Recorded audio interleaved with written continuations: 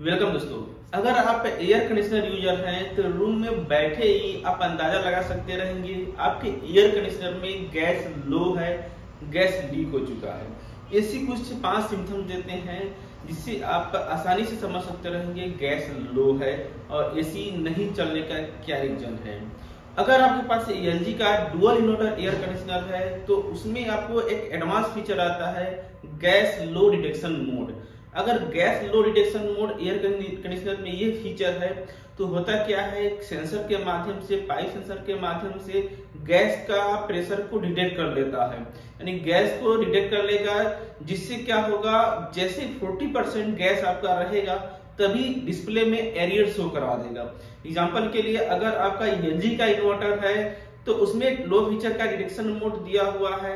जैसे 40 percent gas होगा, यानी गैस कम हो जाएगा तो डिटेक्शन जो डिस्प्ले पे आपको एरियर शो करा देगा सी एच थ्री एट इस तरह से अगर ब्लिंक हो रहा तो क्या होगा? थोड़ा टाइम चलेगा एसी बंद हो जाएगा और एरियर शो करेगा। जिससे आप समझ सकते रहेंगे एसी में गैस लीक हो गया है या गैस कम हो गया है और ये एसी को बंद करा देगा, जिससे क्या होगा कंप्रेसर का प्रोटेक्शन हो जाएगा लॉन्ग टाइम एसी चलेगा नहीं, या फिर और भी कुछ खराब होने से बच जाएगा। सेफ्टी फीचर के लिए ये बेटर है। उसके बाद आपका नॉर्मल एयर कंडीशनर है, तभी भी आपको कुछ संकेत देते हैं एसी गैस कम होने के। फ़र्स्ट आपको देखेंगे, अगर रूम में बैठे हुए हैं तो आप एसी चल रहा है ऑब्ज़र्व करेंगे, आपके एसी से जो है नॉइज़ आएगा, यानी कि सड़सड़ाहट की आवाज़ आएगा, या बबल टाइप का, या लिक्विड से पानी जो निकलता है, बहता है पाइप में, उस तरह से आवाज़ आएगा। उस तरह से अगर आपका एसी में गैस का आवाज़ आ रहा है तो समझ सकते रहेंगे, गैस कम है। उसके बाद आ जाएगा कूलिंग का कम होना। आप फील करेंगे जो नॉर्मल पहले जो कूलिंग हो रहा था फास्ट कूलिंग हो रहा था, जो हवा रहा था चिल्ड हवा रहा था, ठंडा ज़्यादा हो रहा था। बट गैस होने कंडीशन में क्या होगा? आपका एसी की जो हवा आएगा थ्रो होगा, वो ज़्यादा फील नहीं होगा, ज़्यादा चिल्ड ठंडा नहीं होगा। ये चीज़ हो गया। उसके बाद आप देखेंगे एयर कंडीशनर जो रहता है, उसके ऊपर आइस फ्रॉस्ट होगा। आइस जमेगा। या इवेपरेटर खोल करके आप देखेंगे इवेपरेटर आप बार बार नहीं खोल सकते रहेंगे तो आउटडोर में रहता है, बाहर का पाइप आप देखेंगे, वहाँ पे आइस जम रहा है फ्रॉस्ट हो रहा है। ये चीज़ें हो गई आपको आइस आएगा। उसके बाद आ जाते हैं आपका जो स्प्लिट या नॉर्मल कोई सा भी एसी है एसी कंटिन्यू वर्क करेगा। यानी कि लॉन्ग टाइम तक आपका कंप्रेसर चलेगा।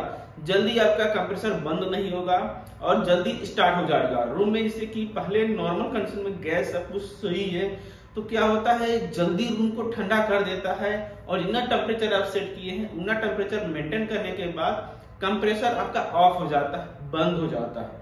बट गैस कम हो जाएगा तो वो कंडीशन में क्या होगा एसी लॉन्ग टाइम तक कंटिन्यू रन करेगा, चलता ही रहेगा कंप्रेसर और कूलिंग जी लेट करेगा। फिर जैसे ही कंप्रेसर जो है, कभी बाई टेम्परेचर मेंटेन हो जाएगा वो टाइम में क्या होगा? थोड़ा टाइम के लिए बंद होगा, फिर पाँच दस मिनट फिर जल्दी स्टार्ट हो जाएगा। इस तरह से अगर हो रहा है, ज़्यादा देर तक कंप्रेसर चल रहा है, तभी आप समझ सकते रहेंगे आपका कुछ प्रॉब्लम है कूलिंग मेंटेन नहीं हो पा रहा है गैस कम है।